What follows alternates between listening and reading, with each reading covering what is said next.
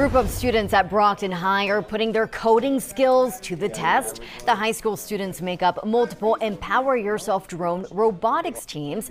They've been meeting every Saturday since October, preparing for the STEM Ed Aero Robotics Regional Competition in May. Students say they hope being a part of the program inspires others to do the same.